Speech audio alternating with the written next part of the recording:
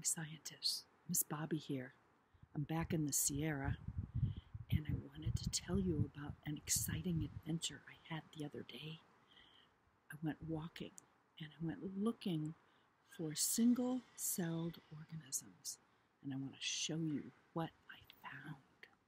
It's so exciting. Before we get started, though, let's take a look and find out a little bit about single celled organisms. We know that the plants and animals we can see are made up of cells, and there are many kinds of plants and animals we cannot see except under a microscope because they are so small. Some of these plants and animals are only one cell, or one celled organisms, and many of these single celled organisms live in water. We find these plants and animals floating in the plankton.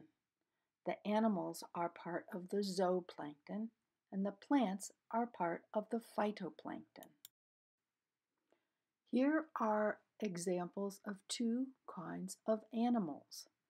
On the left hand side, a paramecium, and on the right, an amoeba. You can see first the picture of the paramecium and then a drawing showing all of the amazing parts inside. Similarly, for the amoeba, you see the drawing on the right hand side and the pictures on the left. These single-celled animals are smaller than the larvae of fish or jellyfish or mussels and sea urchins, which are all part of the zooplankton. Now, here's some pictures of green algae. On the left is Euglena. It has only one flagellum that helps it swim. And then in the middle and the right is Chlamydomonas. It's also green and it has two flagella to help it swim. Now we're going to take a look at some pictures of some brown algae called diatoms. They're super cool because they're shaped like a box. They have a top and a bottom.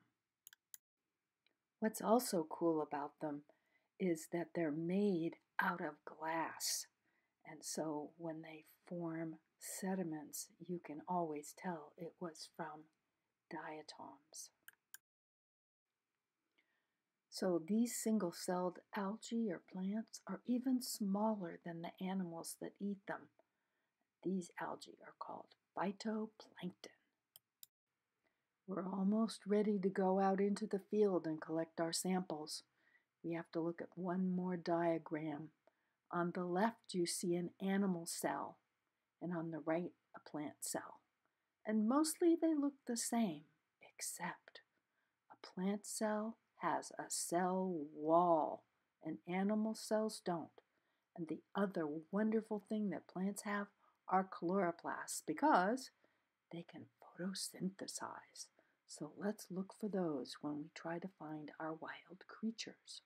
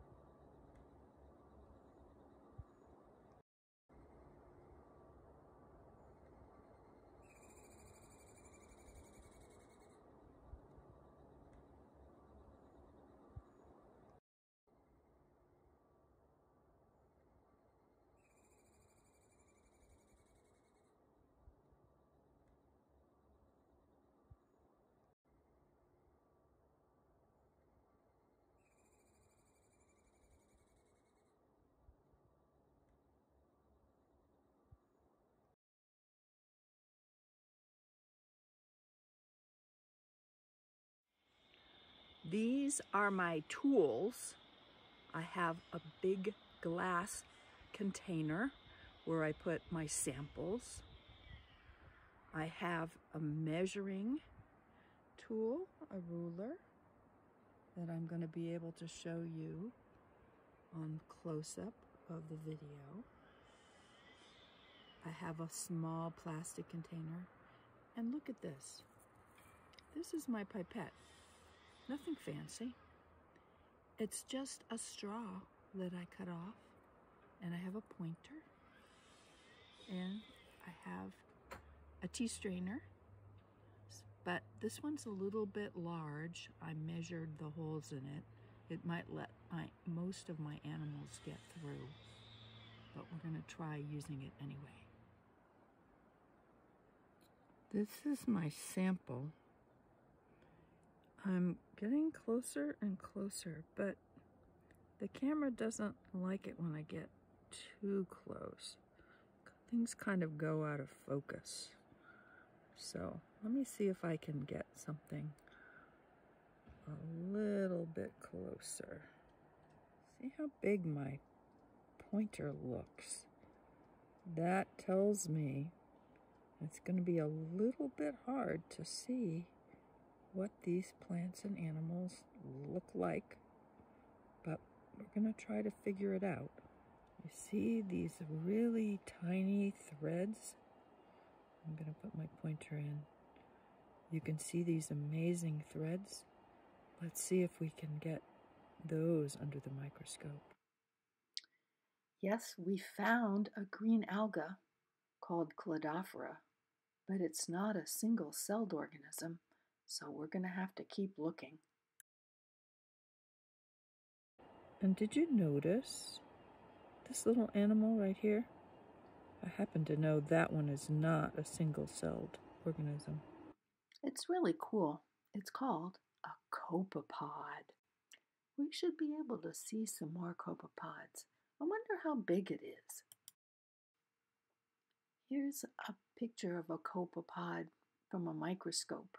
You can see what interesting shape it has and why it kind of jumps along when it swims. Maybe we'll see some more of them in one of the other slides that we're looking at. Ooh, that's a cool looking animal, but it's still not a single celled animal. And again, we can tell because it's so big. Let's find out what it is. Sure enough, it's not a single celled organism.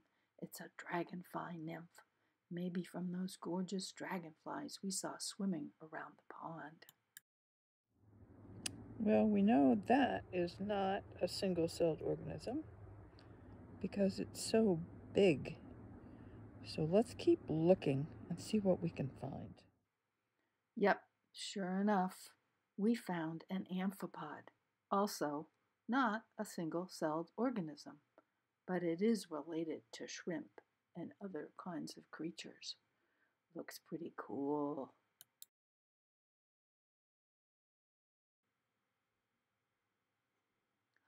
What is that?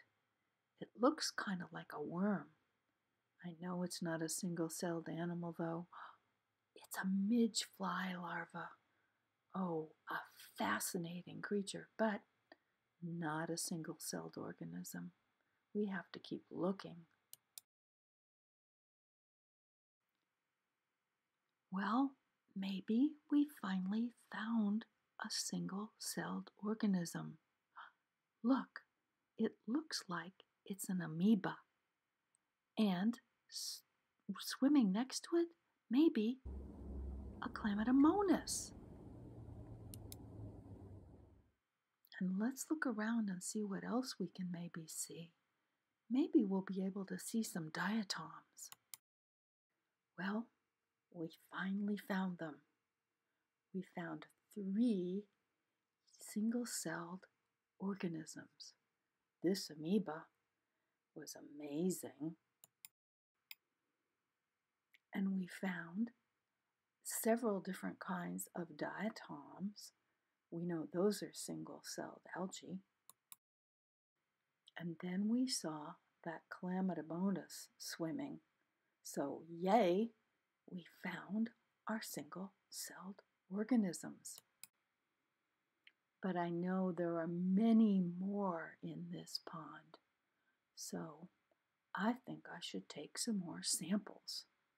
I'm going to go back the next time and I'm going to collect some more and we'll see what we can those samples. See you next time.